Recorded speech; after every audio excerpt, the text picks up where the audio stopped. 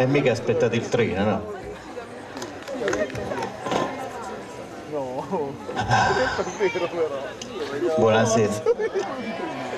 Io mi chiamo Nicola, sono nato a Cerignola, sono cresciuto da Fragola e lavoro ad Ortanova, Ortanova Marina. Dopo aver fatto il eh, semplice ferroviere è arrivata la promozione.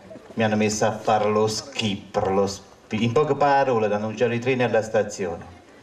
È un lavoro di responsabilità, ma pure qualcuno la da fare. No, ma sono contento perché sono l'unico che ha la tecnologia intelligente, anche se magari a guardare non sembra, qua non ci voleva la risata.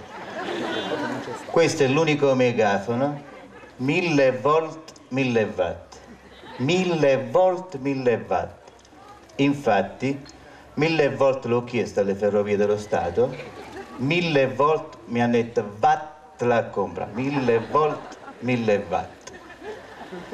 Anche con il PC questo ve la rispiegalo, mille volte lo capisci? È un lavoro di responsabilità, ma pure qualcuno la dà. Il nostro viaggio in Molise torna a fermarsi a Termoli, una città diciamo di circostanza che comunque amiamo, amiamo molto, ma di circostanza perché idealmente potremmo fermarci a Lanciano, potremmo fermarci a Roma, a Salone Margherita o a Larino, la città da cui proviene il collega amico eh, Antonio Mustillo. Antonio Mustillo che proprio in questi giorni festeggia i suoi dieci anni di cabaret, almeno quelli sul palcoscenico diciamo, perché poi in cuor suo sappiamo almeno noi amici eh, forse diciamo oh, la uh, maschera da cabarettista la si ha magari già da bambini davanti allo specchio quando ci si fa la barba poi crescendo fin quando un giorno si decide no io voglio salire su un palco voglio comunque mettere eh, così eh, alla prova questa mia dote innanzitutto ben ritrovato telecamere, con le telecamere di Telemolise su Viaggio in Molise è un piacere, ciao a tutti amici di Viaggio in Molise. Eh sì, c'è chi mette la testa a posto a una certa età, io invece l'ho scomposto un po', salendo sul palco e come hai detto tu poi da lì sono arrivate tante fermate, per rimanere un po' in tema con il mio eh, ferroviere, con il mio personaggio. Sì, eh, diciamo che è iniziata una passione da piccolo con la radio, lo premetto perché la radio è il mio vero amore. Eh, però radio è più difficile perché non si fa radio facilmente, mentre il cabaret basta salire, avere il coraggio di salire su un palco, se hai qualcosa da dire lo dici, poi se fai ridere questo è da vedere. A me è riuscito e sì, sono qui dopo dieci anni, sono ancora in giro. Ecco, Mustillo noi lo conosciamo anche per le sue partecipazioni a diversi programmi, il sosia naturale di Bonolis, insomma eh, sicuramente sei stato su palcoscenici importanti anche in tv, eh, oltre che su Telemolise a lungo anche sulle reti Mediaset. Eh, perché cito questo? Perché poi arriviamo a parlare anche di radio, ma parliamo proprio di televisione. Ecco, a un certo punto eh, uno diciamo, fa un po' di zapping serale nella classica fascia che d'inverno è di striscia la notizia, invece d'estate c'erano diciamo, eh, programmi più, pro, più prorompenti commenti, mettiamola così, su, sulle reti Mediaset, a un certo punto esce Antonio Mustillo da Larino, che è successo? Eh beh, era i tempi di cultura moderna, ti riferisci... Eh, c'era la possibilità di iscriversi a questo, mm, chiamiamolo concorso, perché comunque si vincevano dei soldi.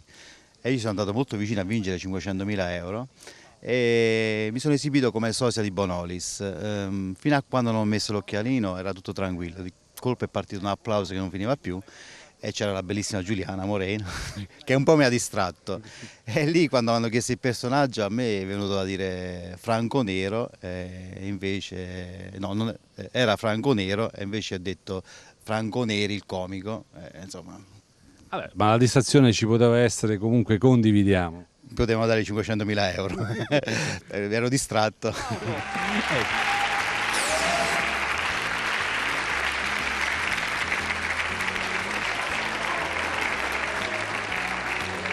Il problema è che c'ha la voce laurente, capi? Uno dice la faccia è bonosa, ma almeno c'ha la voce brepizza. No, la faccia è bonosa, la voce laurenti, perché si sa che eh, disgrazia non vengo mai dato.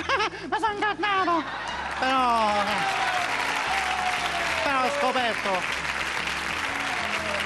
Però ho scoperto dove sta il problema. E il problema sta negli occhiali. Se tolgo gli occhiali la voce mi torna normale, ma non è la mia unica disgrazia. Sono sposato.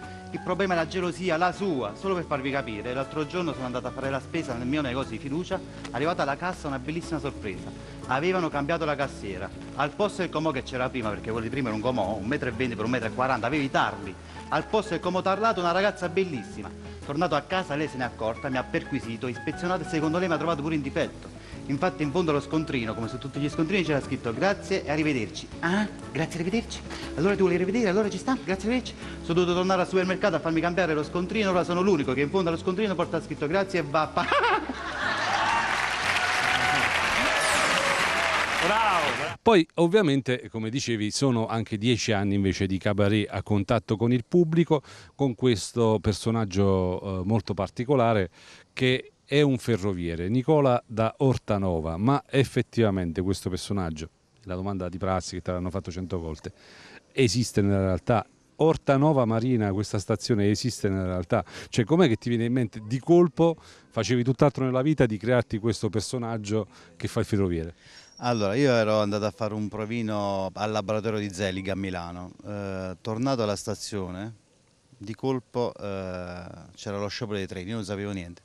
Sono rimasto alla stazione per diverse ore con questi annunci che partivano, pim pam, il treno per Milano annullato, pim pam, tut, tutti i treni che si fermavano e da lì mi è partito un nervoso che però mi ha detto ma vuoi vedere che posso fare un personaggio? Mio suocero era ferroviere, avevo la divisa, mio suocero barese, ho provato a fare degli annunci così in pugliese, li ho provati in uno spettacolino a Bonefro giusto per vedere se funzionava, è diventato il mio personaggio.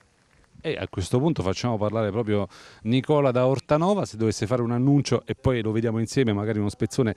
Abbiamo in archivio qualcosa di Nicola da Ortanova che possiamo far vedere? Se c'è, eh, ok, allora, auto, cioè, o meglio, lascia spazio al tuo alter ego praticamente, Nicola da Ortanova, per far annunciare un suo piccolo sketch. Che vi devo dire, quello Nicola da Ortanova è un personaggio importante, quello arriva da da Ortanova Marina, che non è come Ortanova, perché Ortanova Marina ci sta questa nuova moda, non so se è arrivato pure qua da voi, e le ragazze che vanno in giro con le mutande di fuori, i pantaloni a vita bassa, che quando li, viene, li guardi viene il cavallo alto, capito? Questa cosa particolare. Niente, voglio fare un annuncio a tutti, ascoltate, guardate soprattutto Viaggi in Molise, se no avrete tante disgrazie nella vita, questo è un annuncio che posso fare mentre va il clip noi facciamo gli scongiuri ovviamente, ma ci rivediamo tra pochissimo sempre qui in questa nostra puntata particolare celebrativa con il nostro amico Antonio Mustillo che lo ricordiamo festeggia dieci anni di cabaret e dieci anni trascorsi anche a far sorridere tanta gente, anche a denti stretti. Anche con il PC, con il computer, ho voluto essere alla moda, ho chiesto un portatile, mi hanno detto portatelo la. È un lavoro di responsabilità, ma pure qualcuno la dà. Pimpon è in partenza al terzo binario l'Intercity 695 per Torino, ferma a Bologna, Ancona, a Pescara. A Pescara Portanova non ferma, ma siccome mi piace dirlo lo dico, Portanova. Nella carrozza numero 6 si effettua anche servizio ristorante, ma se volete un consiglio non prendete il coniglio. Oggi dalla stazione sono spariti 5 gatti. 5 gatti. Quanto erano belli. No, che la vita d'Ortanova non è semplice, è Ortanova Marina. Che si chiama Ortanova Marina? Ma il mare non ce l'abbiamo. Quello è il sindaco per vincere le elezioni. Ha scritto il cartello. Le elezioni l'ha vinta, ma il cartello non l'ha tolto ad agosto arriva la gente da Torino già col costume e poi il mare che poi si incontra certa gente certa... l'altro giorno ad esempio ho incontrato uno che dice che era un veggente in poche parole dice che prevedeva il futuro veggente dice che tutto è iniziato quando andava a scuola ogni volta che immaginava che lo bocciavano lo bocciava. Poi a 14 anni ha immaginato che il padre non gli comprava il motorino non gliel'ha comprato. Poi quando ha iniziato a uscire con le prime ragazze, ogni volta che immaginava che non gliela davano, non gliela davano. Allora l'ho bloccato e gli ho detto ascolta anche io ho scoperto che sono un veggente. Poco fa immaginate che ti mandava a fanculo, ce l'ho mandato.